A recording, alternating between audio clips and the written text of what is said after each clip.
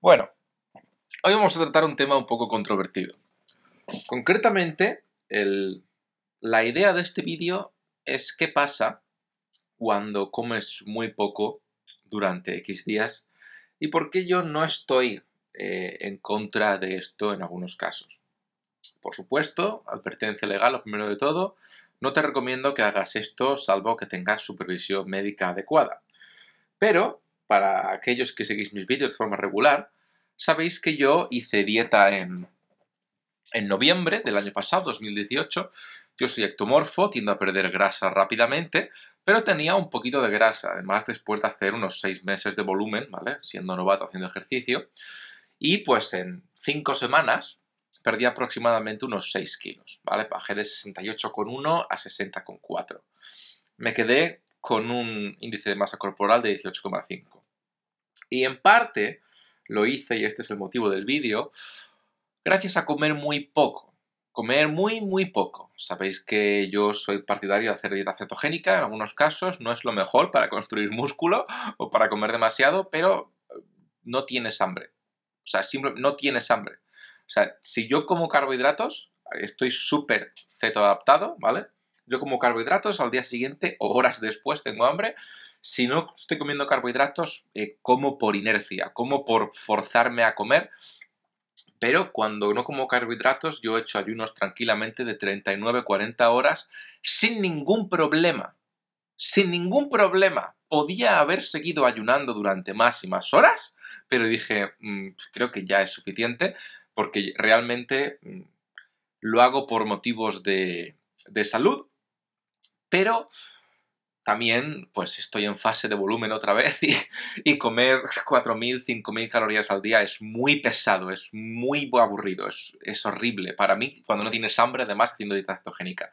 Pero comiendo muy poco, eh, lógicamente pierdes mucho peso. Pero lo que me pareció más curioso es que me sentí mejor que nunca. Eh, estaba comiendo menos que nunca y me sentía mejor que nunca. Dejemos el hecho de que mis niveles de energía eran mucho más estables que cuando comía carbohidratos. Dejemos el hecho de que, por supuesto, tenía que estar asegurándome de que mantenía un buen nivel de electrolitos, porque cuando comes muy poco y haces dieta cetogénica, tus, electrolitos bajan, ¿vale? De, de eh, te quedas sin, sin, sin sodio y sin potasio muy rápidamente sobre todo potasio, pero bueno. Pero eso se puede paliar fácilmente.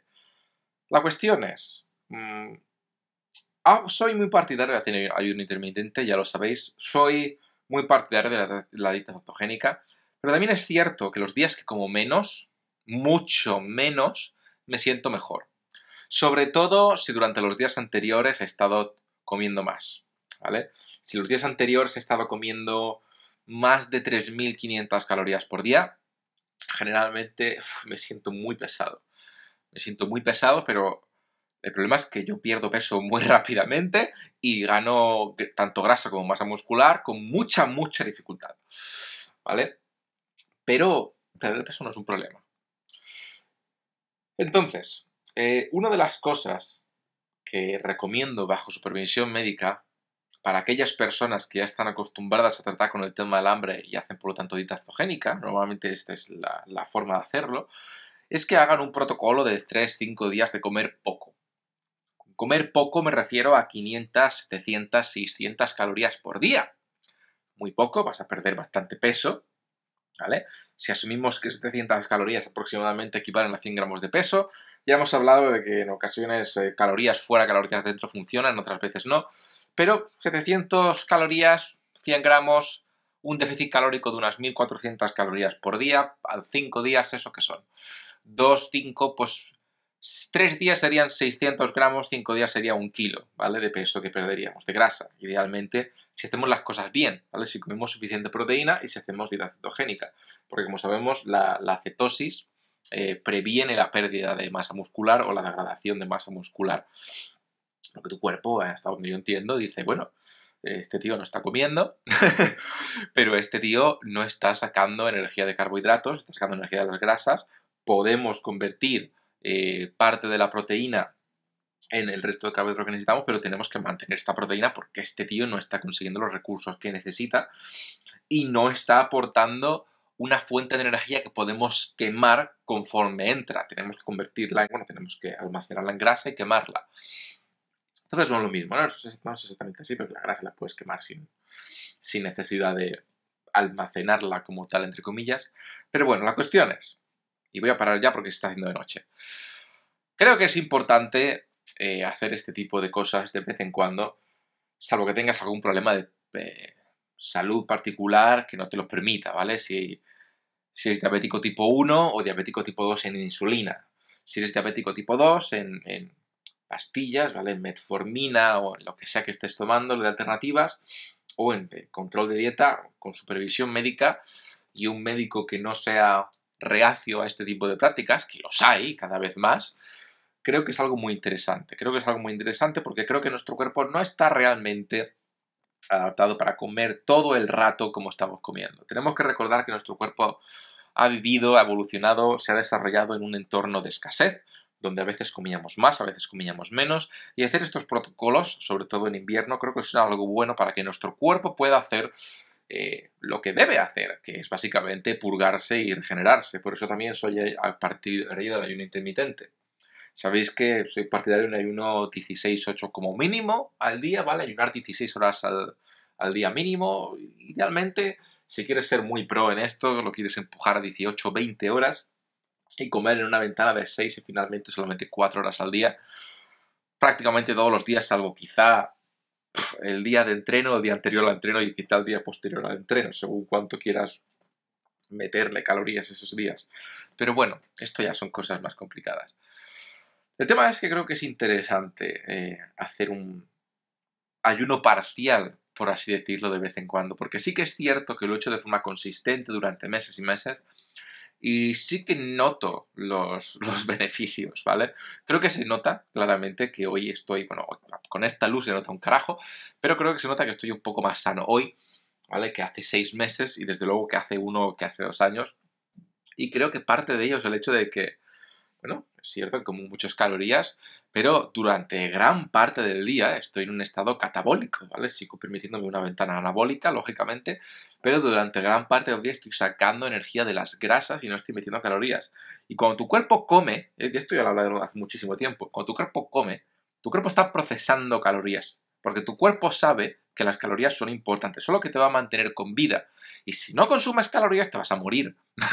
es así de sencillo. Entonces tu cuerpo siempre va a priorizar eso, porque tu cuerpo vive en un entorno de escasez, aunque tú como persona vivas en un entorno con mil supermercados y tiendas online, ¿vale? Entonces es cuando no estás comiendo, cuando de verdad tu cuerpo dice, bueno, ahora que no estamos comiendo, tenemos que asegurar que podemos comer otra vez, tenemos que asegurar que llegamos a eso y por lo tanto tu cuerpo va a parar a, va a pararse a regenerar, a purgar, a, purgar, a eliminar células y a rejuvenecer, entre comillas. Y yo esto lo he, visto claramente. Para aquellos que habéis seguido mis vídeos durante años, podéis ver la transformación en mi cara, ¿vale? La cuestión es... Eh, no me acuerdo de la cuestión. Pero bueno, no me quiero enrollar mucho más con el vídeo.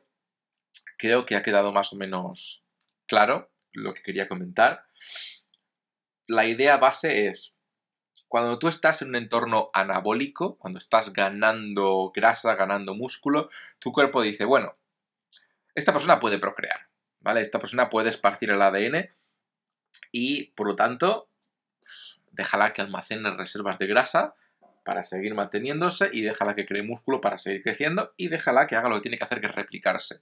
Cuando tu cuerpo no está haciendo eso, cuando tu cuerpo está en un estado catabólico, está tirando de grasas, tu cuerpo entiende que no estás consiguiendo comida. Y si no estás consiguiendo comida, no estás preparado en ese momento para reproducirte. Por lo tanto, tu cuerpo va a intentar eh, regenerarse o extender la vida, mejor dicho, lo máximo posible, para asegurarte que tienes las posibilidades óptimas de reproducción. Puede ser un discurso muy raro, pero recordemos que al final del día tu cuerpo es únicamente un vehículo para que tu ADN se esparza en el futuro. Es, es lo único que importa. o sea, tu cuerpo no es otra cosa. Tu cuerpo. El libido, las ganas de comer, ¿vale? El miedo a los depredadores es simplemente sistemas para que tu ADN se replique en el futuro, ¿vale? Y, ya está, ¿vale? Todo lo demás, esto y esto, es maravilloso, gracias a, Dios o a lo que sea por ello, pero es solamente, es solo, tiene una función al final del día, y es asegurarse que tu ADN se reproduce. Y tu cuerpo no es tonto.